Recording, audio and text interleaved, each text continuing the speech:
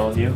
Be sure I got it, and then I clocked in. My greatest wish for Adam is to be able to do things by himself. There, I did it. My goal is to get him into an apartment where he can just be on his own and do his own thing. You had a great day. That Adam's the type of guy, he likes, to, he likes people. He likes to talk a lot.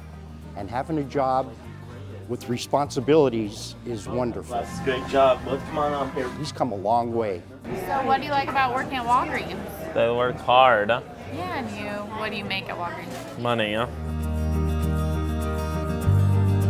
His mother is a trauma nurse, a traveling trauma nurse, and travels all over the country.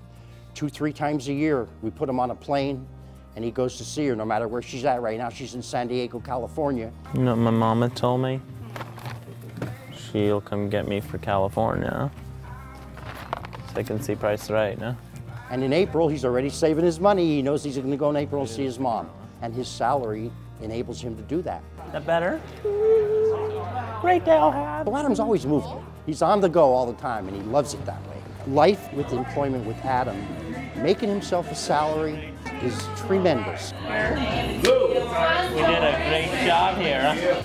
You'll have a great day, huh? If it wasn't for, for the Autism Society in North Carolina, I, we wouldn't know what to do.